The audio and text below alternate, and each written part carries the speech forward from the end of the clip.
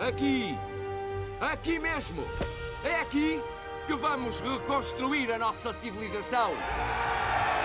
Tem tudo o que precisamos! Ar fresco, água pura e uma acústica fantástica! Fantástica!